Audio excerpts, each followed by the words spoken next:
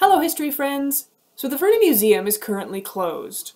In lieu of a brick and mortar museum, over the next few weeks we will be embarking upon a virtual museum experience, a magical history tour, if you will, hosted by me, a very serious lady in a very serious jacket, and an assortment of carefully curated stuff that I found in the museum basement and that was small enough to fit in the trunk of my car. Let's get historical! Today our object is this, a glass bottle of burdock blood bitters circa 1948. At the moment, disease and contagion are on everyone's minds. Also their faces, hands, and lungs. So we thought our first artifact would be medical. Burdock blood bitters was a patent medicine. Now normally when we hear the word patent, we think it means something that has been approved by a qualified professional. Somebody who knows something has looked at this thing and approved it for sale to the general public. In the case of this bottle, that could not be further from the truth. The word patent in patent medicines actually goes all the way back to royal patent. Let's say it's the 17th century. You've mashed some roots and leaves together and you've discovered that the resulting squeezings balance out your black bile with your yellow bile, which is very important. You can then take your root squeezings to the king or other local crown-wearing person. If the crown-wearing person approves of your root squeezings, you get what is called a letter patent or royal patent, meaning you can use the royal name and or coat of arms in your advertising from then on. This would be a big boost to your brand because as we all know, no one who wears a crown has ever been wrong about anything, ever. The word patent trickled down through the centuries until by Fernie times, approximately the late 1890s, all it really meant was that the name and ingredients had been trademarked, so that no one could take the fake and misleading name that you had made up for your fake medicine and apply it to their fake medicine, because that would be wrong. So what is actually in this? Well, a lot of patent medicines contain opium, morphine, strychnine, mercury, cocaine, or just copious amounts of alcohol. But in the 19th century, that wasn't in itself really the problem. After all, this was an era in which doctors and pharmacists prescribed their patients those kinds of things all the time. The problem with patent medicines was that nobody knew exactly how much, if anything, of those ingredients was actually in it, and what it would actually do.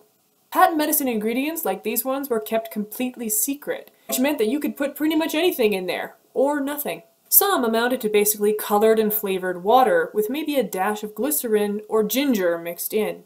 If they did contain active ingredients, a lot of the time it was really just laxatives or diuretics. A note on the wording, a laxative is something that makes you poop, a diuretic is something that makes you pee. For example, burdock bitters contain not only burdock root, but also dandelion, seneca, cascara bark, yellow dock, and various other well-known herbs, roots, and barks, any of which could also have been diuretics or laxatives. Why laxatives?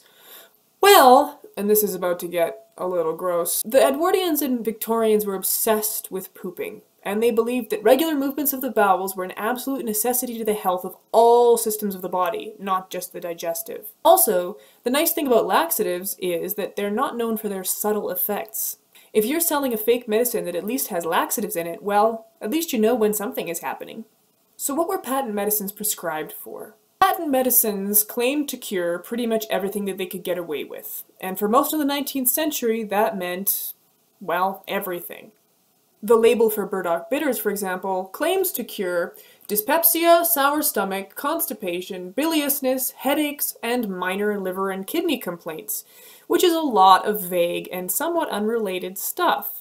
But in other advertising, it's also claimed to cure eczema, boils, depression, dizziness, insomnia, watery blood, and scrofula, which is a form of tuberculosis and is definitely not going to be cured by a dose of dandelion root. The T. Milburn Company, which manufactured burdock blood bitters along with many other patent medicines, advertised constantly. It even published its own BBB Almanac, published from the 1870s to around 1931. Like most almanacs, the BBB was a charmingly folksy, easy-to-read book full of jokes, proverbs, astrological charts, weather predictions, and pages and pages and pages of testimonials from grateful patients attesting to their miraculous cures. The T. Milburn Company also published trading cards, which, While mostly focusing on pretty ladies and unnervingly serious babies, sometimes verged on Hieronymus Bosch level weird. For example, this NRA Chihuahua, or this small child emerging from an old man's face like something out of Ridley Scott's Alien. Patent medicines like this one were ridiculously popular all the way through the 19th and early 20th centuries because you didn't need a qualified doctor or pharmacist to get them, and you could buy them pretty much anywhere, at any general store. You could also get them door to door and through the mail, which was very handy if you happened to live in, say, a small town in the southeast corner of British Columbia. In 1908, doctors and pharmacists finally pressured the Canadian government to pass the Proprietary and Patent Medicines Act, which made it illegal to sell any medicine without listing the ingredients on the bottle or box it came in. And if we look right here, we can see that Burdock Blood Bitters is number 5811 under the Proprietary or Patent Medicines Act. The PPMA wasn't perfect, but it was the first time that a lot of these patent medicine companies had ever been regulated in the first place. And once people actually started to see what was inside of their magical potions and tonics and salves, sales started to drop. But they never completely disappeared. Nowadays, this kind of thing is more regulated, but there are still plenty of burdock blood bitters like substances lurking in the natural medicine section of your grocery store or health food store. To me, this is an ancient bottle of alcoholic compost juice, but to an unscrupulous peddler of snake oil, and believe me, there are plenty of them out there, this is a natural herbal detox tonic, and they'll sell it to you for $40. Buyer beware.